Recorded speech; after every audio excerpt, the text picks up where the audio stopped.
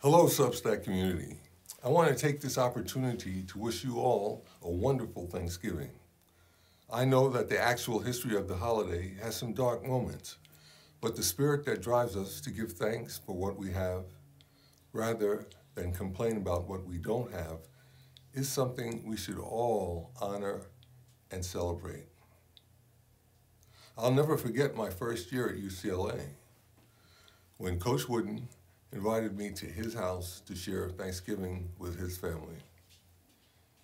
I was an 18 year old kid, 3,000 miles away from my own family, but they all made me feel welcome and cared for.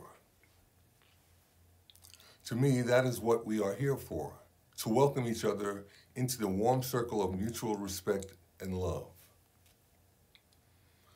I hope that it is what you all experience this Thanksgiving, whether with friends, family, or just fellow human beings on the journey of life. I also want to let you know that I'll be sending weekly videos and voice messages like this one to all my paid subscribers.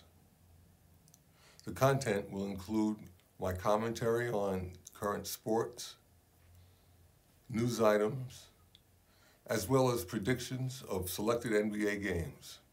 It should be a lot of fun. Remember, the voice and video messages are only for paid subscribers, so sign up. Thank you so much.